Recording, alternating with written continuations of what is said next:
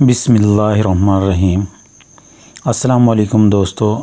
دوستو، آج ہم آپ کے لیے ایک ایسی دوائی لے کے آئے ہیں جو آپ کو ہر جگہ، ہر علاقے میں مل جائے گی۔ یہ ہومیوپیتھک کی میڈیسن ہے۔ اس کا نام سلینیم ہے۔ یہ مادہ تولید کو گاڑھا کرتی ہے اور ٹائمنگ میں خوب اضافہ کرتی ہے۔ اس کو ہر عمر والا، چاہے نوجوان ہو یا چھوٹی عمر کا ہو یا بوڑھا ہو یا جس عمر کا ہو، کوئی مسئلہ نہیں ہے، ہر عمر والا اس کو استعمال کر سکتا ہے۔ یہ سلینیم دو سو میں میڈیکل سٹور سے ہومیوپیتھک میڈیکل سٹور سے مل جاتی ہے۔ اس کو جریان والے بھی استعمال کر سکتے ہیں، احتلام والے بھی استعمال کر سکتے ہیں۔ جن کی اولاد نہیں ہو رہی، جن کے جراثیم نہیں پیدا ہو رہے یا زیرو ہیں انکریز نہیں ہو رہے، وہ بھی اس کو استعمال کر سکتے ہیں۔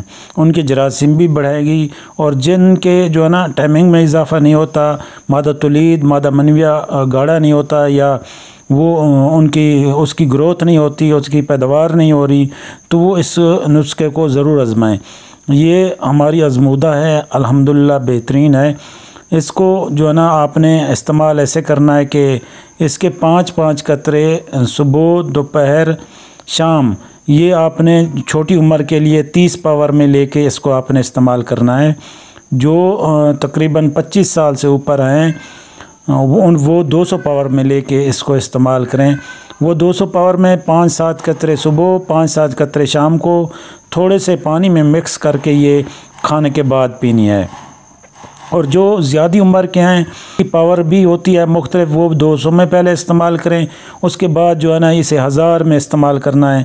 اور ہزار میں ہاں، ہفتے میں ایک خوراک ہوتی ہے، جس کو آپ جو لوگ زیادہ عمر کے ہیں، جن کی عمر کم از کم چالیس سال سے اوپر ہے، وہ اس کو ہزار پاور میں لے لیں، ہزار ون ایم میں لے لیں۔ وہ اس کی ویکلی ایک خوراک تقریباً سات آٹھ قطروں پر، سات آٹھ ڈراپس پر مشتمل ایک خوراک لیں، وہ پانی میں لیں۔ تو انشاءاللہ جو ہے نا، ان کی بھی یہ زبردست خوراک بنے گی۔ اور ان کے اندر جراثیم بھی پیدا ہوں گے، قوت با بھی پیدا ہوگی۔ اس کے علاوہ جن کو بالکل اریکشن پیدا نہیں ہوتی، وہ اس کے ساتھ لیکوپوڈیم دو سو استعمال کریں۔ لیکوپوڈیم۔ دو سو استعمال کریں اور جو اوور ایج کے ہیں وہ لیکوپوڈیم ہزار میں استعمال کریں، ساتھ میں سلینیم بھی استعمال کریں۔ لیکن اس کو جو نا تھوڑا الگ الگ کر کے استعمال کرنا ہے۔ پہلے مثال کے طور پر لیکوپوڈیم آپ نے لے لیا ہے تو کم از کم ایک گھنٹے بعد سلینیم آپ استعمال کریں۔ اس کے بعد جو ہے نا دوسری خوراک آپ نے شام کو لینی ہے، کھانا کھانے کے بعد وہ بھی اسی طریقے سے کہ پہلے آپ لیکوپوڈیم لے لیں یا سلینیم سلینیم لے لیں، جو بھی لینا چاہتے ہیں۔ اس کے بعد دوسری خوراک آپ لیکوپوڈیم کی لے لیں، لیکن ایک گھنٹے کا کم از کم وقفہ ہونا چاہیے۔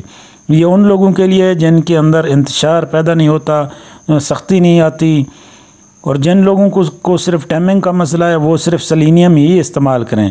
پہلے وہ سلینیم تیس پاور میں لے لیں، اس کے پانچ قطرے صبح، پانچ دوپہر کو، پانچ شام کو تھوڑے سے پانی میں مکس کر کے استعمال کرتے رہیں۔ اس سے مادہ تولید گاڑا بھی ہو جائے گا، وافر مقدار میں پیدا بھی ہو جائے گا اور جریان اطلام دانت صورت انزال، ذکاوت ختم ہو جائے گی۔ جو لوگ کہتے ہیں کہ قطرے آتے ہیں تو وہ بھی قطرے آنا بند ہو جائیں گے۔ یہ بہترین ہے، زبردست ہے، اسے آزمائیں۔ اگر آپ پسند آئے تو ہمارے چینل کو سبسکرائب کریں، لائک کریں، شیئر کریں۔ اگر کوئی پرابلم آئے تو نیچے کمنٹس کریں۔ ہم انشاءاللہ آپ کی پرابلم سوال کریں۔